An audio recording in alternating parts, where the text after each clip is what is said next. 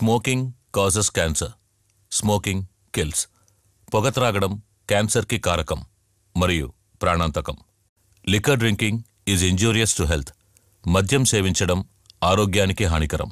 Be safe don't drink and drive సురక్షితముగా ఉండు. తాగి డ్రైవ్ చేయవద్దు.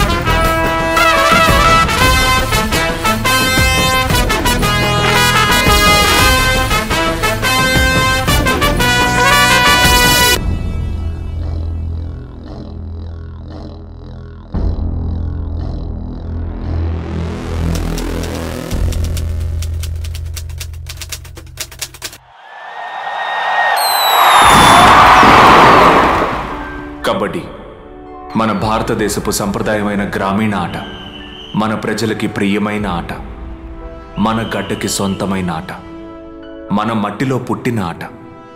సంక్రాంతి పండుగప్పుడు జరిగే జల్లికట్టు ఆటకి మన యువకులు తమను తాము తయారు చేసుకునే అభ్యాసమే ఈ కబడ్డీ ఆట.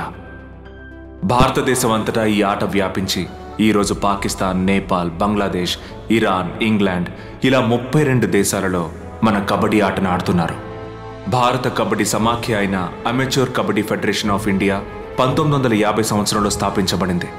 కబడ్డీ కోర్ట్ అనేది పది ఇంటూ పదమూడు మీటర్ల కొలత కలది. దాదాపు పద్నాలుగు వందల చదరపు అడుగుల విస్తీర్ణంలో రంపపు పొట్టు కొబ్బరి పీచు ఇసుకని చల్లి ఎంతో జాగ్రత్తగా ఆడే ఈ ఆటకి ఈనాడు ప్రో కబడ్డీ లీగ్ అన్న జాతీయ స్థాయి అంగీకారం కూడా లభించింది. Berlin Olympic Asian Olympic kabaddi world cup అంటూ మన మట్టికి సొంతమైన ఈ కబడ్డీ ఆట ప్రపంచ వ్యాప్తంగా ఎదిగింది.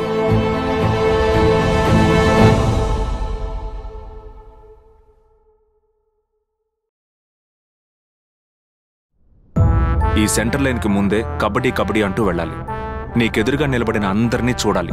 తర్వాత కబడ్డీ కబడ్డీ అంటూ వెళ్ళి ఫస్ట్లో ఉన్న ఈ లైన్ని ఒక కాలు పెట్టి ఇంకో కాల్ని ఎత్తాలి. ఈ ఫస్ట్ లైన్ని నువ్వు ముట్టుకోలేకపోతే నువ్వు అవుట్ అయి బయటికి వెళ్ళిపోవాలి. ఈ సెకండ్ లైన్లో ఇలా చేస్తే నీకు బోనస్ పాయింట్ వస్తుంది. అంతేకాదు ఇలా చేత్తోనో కాల్తోనో వాళ్ళని ముట్టుకొని వస్తే నీకు ఒక పాయింట్ వస్తుంది. అర్థమైందా? సపోజ్ నువ్వు ఇలా కబడ్డీ కబడ్డీ అంటూ కోతేస్తూ వెళ్ళి ఇలా కాలు పెట్టినప్పుడు వాళ్ళు నీ కాలు పట్టుకొని ఇలా దొరికిపోయావంటే వాళ్ళకి పాయింట్ వస్తుంది. నువ్వు అవుట్ అయి బయటికి వెళ్ళి కూర్చోవాలి. ఓకే? అర్థమైందా? అర్థమైంది. ఏది ఇప్పుడు వెళ్ళు. ధైర్యంగా కూతేసుకుంటూ వెళ్ళు. కబడ్డీ కబడ్డీ కబడ్డీ. నా పేరు వెంకటస్వామి. నేను కబడ్డీ ప్లేయర్ని. మా ఊరు కనికాపురం. బోనస్ లైన్ మీద కాలు పెట్టి ముట్టుకోనరా శ్రీ శ్రీ శ్రీ భద్రకాళి అమ్మవారి జాతర సందర్భంగా జరుగుతున్న ఆడ మగ కబడ్డీ పోటీలకి అందరినీ ఊళ్ళో ఏ జాతర జరిగినా కబడ్డీ పోటీ లేకుండా ఉండదు. ఈ జాతరకి చీఫ్ గెస్ట్గా సగౌరవంగా ఆహ్వానిస్తున్నాం. రామాపురానికి చెందిన మట్టిలో మాణిక్యాలు కబడ్డీ జట్టు అలాగే గాంధీనగర్కి చెందిన తారాజుబ్బా కబడ్డీ జట్టు వారిని వెంటనే సిద్ధమై త్వరగా మాణిక్యాలు కబడ్డీ జట్టుకి చెందిన మల్లెమూర్తి కూత వేసుకుంటూ వెళ్తున్నారు. ఇరు జట్టుల వారు ఎంతో ఆక్రోశంగా ఆటని కొనసాగిస్తున్నారు. రెండు జట్టుల వారు ఎంతో చురుగ్గా ఎగిరి గంతులు మరి బాల్ కబడ్డీ జట్టు టూ పాయింట్. ఇప్పుడు మట్టిలో మాణిక్యాలు టూ పాయింట్స్ ఎంతో అద్భుతంగా రెండు జట్టుల వాళ్ళు ఆడుతున్నారు లాస్ట్ రాయ్. ఇప్పుడు మట్టిలో మాణిక్యాలు జట్టు గెలిచింది. దీని తర్వాత ఆడవారు పాల్గొనే పోటీలను వ్యవసాయదారుల సంఘం లీడర్ చిన్నమూర్తి గారు ప్రారంభించారు. మగవాళ్ళ కబడ్డీ పోటీ ఎంత ప్రఖ్యాతి చెందిందో అదే స్థాయికి ఆడవాళ్ళ కబడ్డీ పోటీ కూడా మా ఊళ్ళో ప్రఖ్యాతి పొందింది. ఈయనే మా గురువు గారు గరుడమూర్తి. నన్ను పెంచిన ఆయన నాకు కబడ్డీ నేర్పించిన ఆయన. ఈయన ఎక్స్ మిలిటరీ మ్యాన్ తనకొచ్చే పెన్షన్ డబ్బును కూడా కబడ్డీ కోసమే ఖర్చు పెడుతూ ఉంటారు. తనకు తెలిసిన వాళ్ళందరి దగ్గర సహాయం అడిగి వచ్చే ధన సహాయం ద్వారా ఆడపిల్లలందరికీ ఒకే చోట బస ఏర్పాటు చేసి భోజనం కాలేజ్ ఫీజు ఇలా అన్ని సహాయాలు చేసి వీళ్ళందరినీ పైకి తీసుకురావాలని ఎంతో పోరాడుతున్నారు. ఈ అమ్మాయి పేరు ఈశ్వరి. సెలవు రోజుల్లో వీళ్ళ నాన్నగారితో పాటు కూలి పనికి వెళ్తుంది. అన్నా మీ పేర్లు చెప్పండి. రామరాజు ఈశ్వరి. ఒకటి రెండు మూడు నాలుగు. ఈ రెండు వేలు కాలేజీ ఫీజు కుంచుకో అమ్మకి తెలియకూడదు. సరే నాన్న.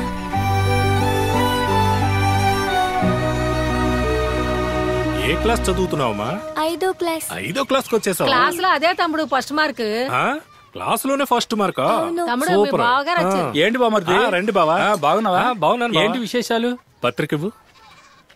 ఏం తెచ్చావక్క? తీసుకో. బావా నా రెండో కూతురికి వచ్చే నెల పన్నెండున చెవులు కుట్టిస్తున్నా. సంతోషం. కుటుంబ సమేతంగా అందరూ రావాలి. తప్పకుండా సరేనా? అలాగే. అక్క సారి? పెట్టడానికి డబ్బులు లేవని అక్కడికి రావడం మాత్రం మానేయద్దు. ఇందులో రెండు వేల రూపాయలు ఉన్నాయి. పదిహేను వందలకి నా కూతురికి లంగా జాకెట్ తీసుకో. ఐదు వందల రూపాయలు బస్ ఖర్చులు కుంచుకో. ఏంటి ఎంతగా ఆలోచిస్తావు? ఇదిగో తీసుకో. డబ్బులేం అక్కర్లేదు. మీ అక్క చేయాల్సినవన్నీ పద్ధతిగా చేస్తుంది. నువ్వు వెళ్ళు పిల్లకి రోషం ఎక్కువే.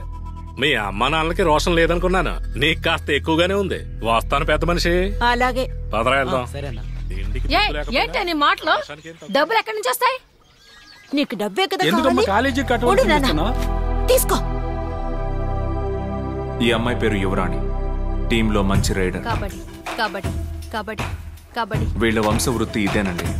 ఈ అమ్మాయి తన తమ్ముడు కలిసి తన తల్లిదండ్రులకు ఎప్పుడు సహాయపడుతూ ఉంటారు. ఈ అమ్మాయి పేరు భువన. వీళ్ళ అమ్మ ఒక క్యాన్సర్ పేషెంట్. ఏమైందండి? ఫోన్ కట్ చేస్తుంది. దాన్ని మొండి పట్టు. తను ఏమనుకుంటే అదే చేస్తుంది. మాట ఎంత కదా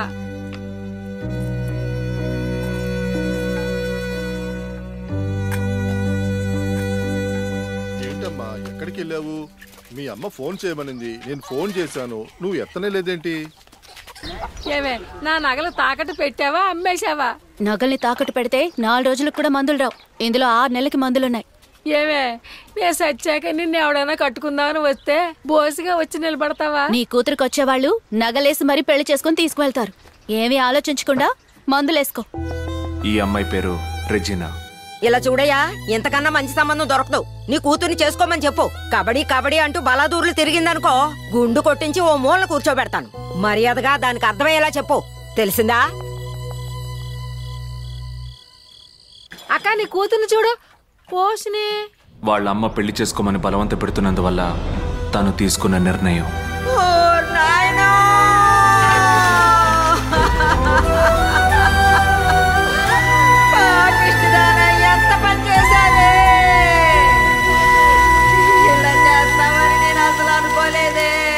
ఈ అమ్మాయి పేరు జీవ. ప్రతి కుటుంబంలో జరిగే కథేనండి. తన కుటుంబంలోనూ మనవణ్ణి జరిగింది. ఆస్తులమ్మి చదివించి ఉద్యోగం ఇప్పిస్తే ఆడు తనకి నచ్చిన పిల్లని తీసుకుని పారిపోయాడు. వాడు చదువు పూర్తయ్యాక ఇల్లు కట్టిస్తాను చెల్లికి పెళ్ళి చేస్తాను పోయిన ఆస్తిని మళ్ళీ ఇడిపిస్తానని చెప్పాడు. హ, హే ముసలి ఆడు చెప్పింది వాడికి ఇల్లు కట్టుకుంటానని వాడు ఆస్తి సంపాదించుకుంటానని ఆడు పెళ్ళి చేసుకుంటానన్నాడు. ఆ విషయం మనకే అర్థం కాలేదు దద్దమ్మలం. ఈ అమ్మాయి అరుణ కుమారి. వీళ్ళమ్మ పొలంలో కూలి పని చేస్తుంది. వీళ్ళ నాన్న పొలంలో మందు కొట్టే పని చేస్తుంటాడు. ఈ అమ్మాయి పేరు యోగలక్ష్మి. వీళ్ళ నాన్న గుడిలో పూజారి. ఈ పళ్ళెంలో పడే దక్షిణ వల్లే వీళ్ళ కుటుంబం నడుస్తోంది. తల్లి లేని పిల్ల. కూతురంటే తండ్రికి ఎంతో ప్రేమ.